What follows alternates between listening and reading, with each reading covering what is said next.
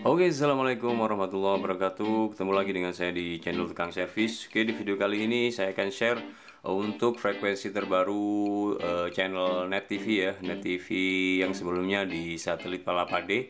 Saat ini sudah aktif di satelit Telkompat ya. Jadi bagi rekan-rekan mungkin yang belum uh, scan ya, bisa langsung melakukan scan ya.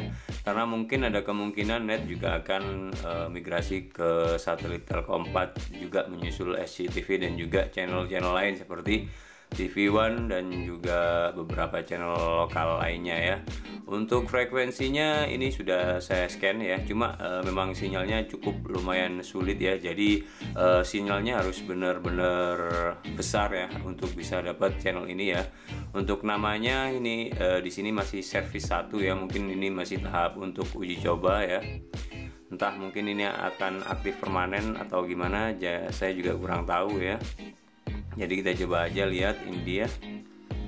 Untuk frekuensinya ya ini frekuensinya di 3986 ya. Untuk polaritasnya horizontal dengan simbol readnya 4700 ya. Ini untuk uh, frekuensinya sedangkan untuk channel lain ya yang uh, ada di sini saat ini udah ada TV One ya. Ini udah frekuensi sendiri ya.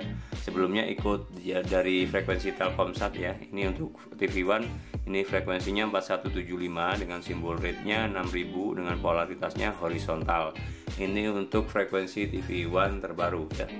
Ini di Telkom 4 ya untuk uh, sinyalnya di sini saya bisa log di uh, sekitar 55 ya, 54, 55 loncat-loncat sampai 56 ya. Sedangkan untuk uh, net TV-nya di sini saya bisa log di sekitar 39 aja ya. Untuk ini memang agak sulit ya. Bisa sebagai patokan mungkin bisa cek di Indosiar atau SCTV dapat berapa. Di sini bisa dapat sekitar 83 ya untuk SCTV-nya Indosiarnya. Jadi baru bisa dapat net di 39 di sini saya menggunakan receiver Tanaka T22 Jurassic Metal yang lama ya yang tipe Coast ya. Untuk channel-channel lain masih tetap seperti kemarin ya masih ada CNN, CNBC, Trans 7 untuk Trans TV-nya di sini sinyalnya bisa lock uh, sekitar 67 ya, 71 masih loncat-loncat ya. Ini ada ada 72 juga.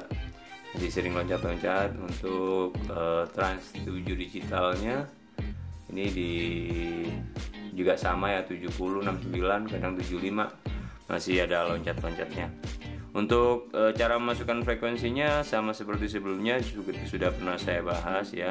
Kita tinggal masuk menu instalasi ya. Di sini masuk instalasi kita arahkan ini. Kita arahkan ke Telkom 4, kita pilih e, tambah tambah dengan e, eh, TP ya.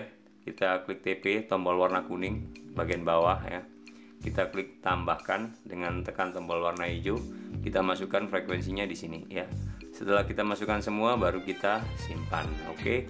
Ini enggak saya simpan karena tadi udah saya scan jadi tinggal kalau muncul sinyal seperti indikator warna kuning setelah dimasukkan frekuensinya berarti itu e, sudah dapat sinyal. Jadi tinggal scan aja. Kalau belum dapat sinyal pastikan ini harus dapat sinyal terlebih dahulu ya. Mungkin bagi rekan-rekan yang belum tahu ini adalah kualitas sinyalnya dan di atas ini ada intensitasnya.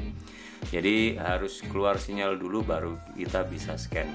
Oke ya mungkin itu saja uh, yang bisa saya share kali ini ya untuk frekuensi net TV terbaru di satelit Telkom 4 oke mudah-mudahan bermanfaat ya. Nantikan juga video-video menarik berikutnya dari tukang servis channel